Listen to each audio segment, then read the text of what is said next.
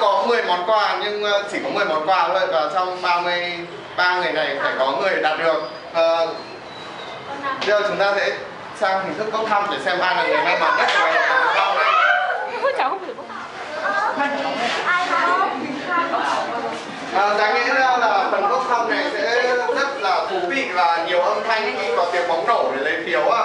Nhưng mà do không kịp thời gian chuẩn bị nên ờ, sẽ có người được bóng và sẽ có người chỉ được phiếu.